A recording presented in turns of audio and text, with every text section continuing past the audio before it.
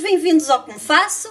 Hoje vou preparar uma receita de gelatina de coco. Uma receita muito fácil de fazer e fica muito boa e para quem gosta de coco, certeza que vai gostar desta receita.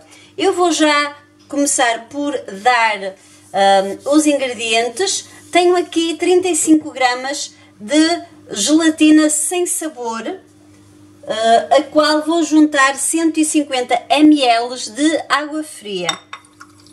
Assim.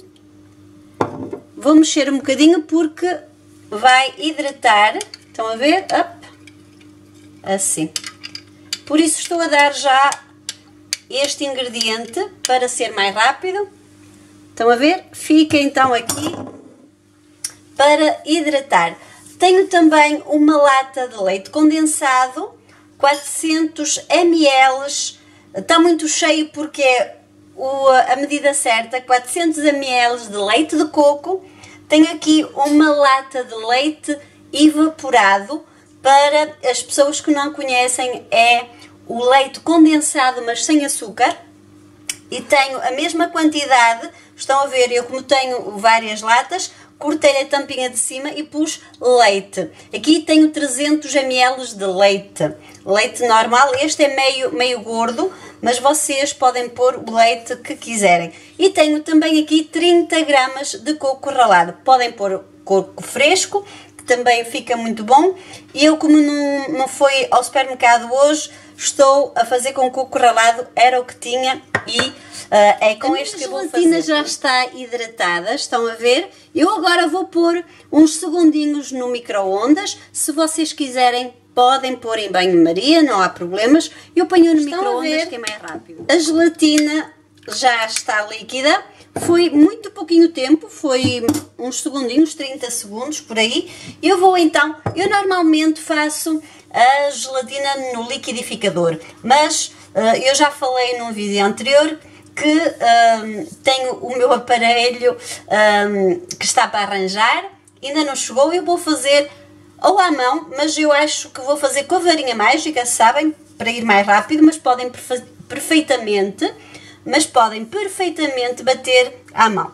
Eu vou então começar, tenho aqui o leite de coco, assim, o leite normal, o leite evaporado, estão a ver, é uma corzinha mais escura. E não é espesso porque não tem, como é que se diz, não tem o açúcar, o leite condensado, estão a ver a diferença entre o leite condensado e o leite evaporado, eu confesso que ao princípio não sabia, a uma altura vi uma receita com leite evaporado e não sabia o que era. Uh, agora já sei. Não é uh, vergonha não saber, porque prende, uh, aprender até morrer, como se costuma dizer, estamos sempre a aprender e não é sinal que somos ignorantes, tá bom? Agora, olhem, vou mexer assim. Eu vou meter só a varinha para uh, dissolver um bocadinho, vou deitar então a gelatina, super fácil, estão a ver? Assim. Agora, se quiserem o coco triturado, metam agora. Se quiserem que o coco não fique triturado, que fique com bocadinhos de coco, deitam depois. Eu, talvez é isso que vá fazer, eu já vejo. Olhem.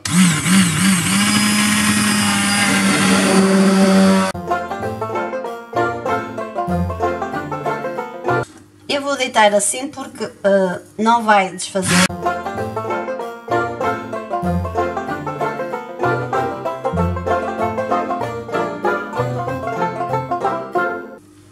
Já está assim.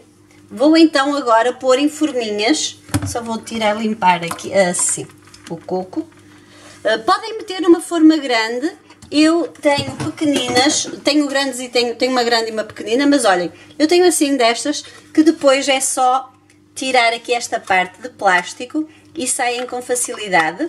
Eu tenho uma coisa que faço geralmente, também tenho esta grande, mas vocês ponham onde queiram, estão a ver? Com o mesmo processo, ter a tampinha atrás. Uh, olha, eu geralmente meto um bocadinho de óleo ou um bocadinho de azeite no fundo da forma, meto água e depois transvaso. Estão a ver? Uh, assim. A forma fica com um bocadinho de gordura e não risca de colar a, a gelatina não risca de colar. É uma dica simples, mas que eu costumo fazer muitas vezes, aliás, todas as vezes. Estão a ver um bocadinho de azeite ou um bocadinho de óleo com, uh, com uh, a água eu estou aqui, estou longe, porque vim buscar. Uh, olhem só. É muito simples, não é? Não vai ao fogo. Tem aqui umas coisinhas castanhas que é do coco, mas não tem mal. Olhem. que maravilha. Este coco depois vai ir para cima. Geralmente fica em cima. Uh, fica muito bom. Eu como sou adepta de coco, estão a ver, não tem nada que saber é super fácil, faz umas sobremesas deliciosas, é um bocadinho rica, não vou dizer que não, uh, mas, mas prontos, fica uma sobremesa diferente.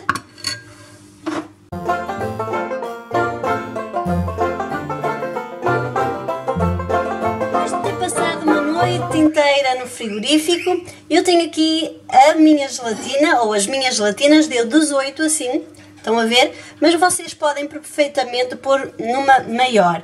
Eu vou então... Ops, estão a ver como é que fica? São doses individuais. Vamos lá. Op. Normalmente não tem problema nenhuma, nenhum em sair. Ups, normalmente. Eu há bocado provei uma já e saiu. Olhem aí. Estão a ver? Podem decorar com coco ou então podem pôr um colhi ou um, um cremezinho de, de, de, de fruta. Um, por exemplo, lembro uh, da, da, framboesa, um morango, fica muito bom, mesmo ananás. Eu vou então, repararam certamente na minha voz, eu de ontem para hoje fiquei com gripe, estou bastante constipada tenho o nariz muito, muito entupido. Eu vou então mostrar a consistência. Olhem esta gelatina. Estão a ver? Gelatina de coco e três leites. Olhem só. Olhem. Eu mesmo doente vou provar. Eu já provei, mas está muito boa, mas para vocês verem que mesmo doentinha faço um sacrifício, que não é nada sacrifício, estou a brincar, para comer um bocadinho. Está muito boa.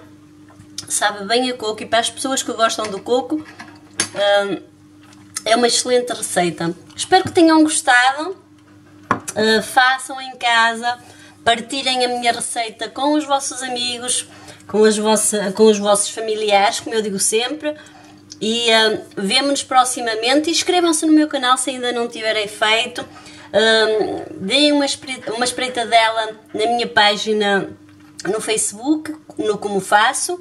E se tiverem alguma pergunta, alguma questão que me queiram fazer, uh, não hesitem, eu responderei com todo o prazer. Um beijinho, até à próxima!